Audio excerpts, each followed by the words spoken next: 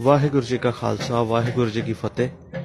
Incharge Punjabi ਸਿੱਖ ਸੰਗਤ ਦਾਸ ਕਪਿਲ ਰਾਜ ਸਿੰਘ ਇਸ ਵੇਲੇ ਮੌਜੂਦ ਹਾਂ ਜੀ। ਨਨਕਾਣੇ ਦੀ ਧਰਤੀ ਉੱਤੇ ਟੈਂਟ ਸਿਟੀ ਬਣਾਈ ਜਾ ਰਹੀ ਹੈ। ਗੁਰਦੁਆਰਾ ਜਨਮ ਸਥਾਨ ਨਨਕਾਣਾ ਸਾਹਿਬ ਤੋਂ ਲਗਭਗ 5 ਮਿੰਟ ਦੇ ਫਾਸਲੇ ਤੇ ਟੈਂਟ ਸਿਟੀ ਮੌਜੂਦ ਹੈ ਜੀ ਔਰ 80% ਕੰਮ ਮੁਕੰਮਲ ਹੋ ਚੁੱਕਿਆ ਟੈਂਟ ਸਿਟੀ ਦੇ ਵਿੱਚ ਬਹੁਤ ਹੀ ਵਧੀਆ ਰੂਮ ਬਣਾਏ ਗਏ ਨੇ। ਗੁਰੂ ਨਾਨਕ ਦੇਵ ਜੀ ਦੇ 550 ਸਾਲਾ ਗੁਰਪੁਰਬ ਨੂੰ ਸਮਰਪਿਤ ਜਿਹੜੇ ਯਾਤਰੀ ਨਨਕਾਣਾ ਸਾਹਿਬ ਵਿਖੇ ਆਣਗੇ ਉਹਨਾਂ ਦੀ ਸਹੂਲਤ ਵਾਸਤੇ ਬਿਹਤਰੀਨ ਰੂਮ ਬਣਾਏ ਗਏ ਨੇ। ਇੱਕ ਰੂਮ ਦਾ ਸਾਈਜ਼ ਹੈ ਜੀ 15 ਬਾਈ 12 ਇਹ ਕਾਫੀ ਵੱਡਾ ਰੂਮ ਹੁੰਦਾ ਹੈ ਔਰ ਫਿਲਹਾਲ ਰੂਮ ਦੇ ਵਿੱਚ ਕੰਮ ਚੱਲ ਰਿਹਾ, ਪੂਰੀ ਟੈਂਟ ਸਿਟੀ ਦੇ ਵਿੱਚ ਕੰਮ ਚੱਲ ਰਿਹਾ।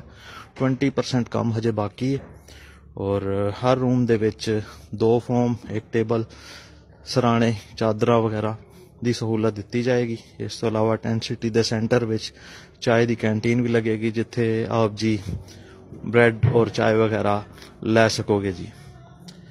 ਵਾਹਿਗੁਰੂ ਜੀ ਕਾ ਖਾਲਸਾ, ਵਾਹਿਗੁਰੂ ਜੀ ਕੀ ਫਤਿਹ। ਵੀਡੀਓ ਸ਼ੇਅਰ ਕਰੋ ਤਾਂ ਕਿ ਦੂਸਰੇ ਦੋਸਤ ਵੀ ਦੇਖ ਸਕਣ।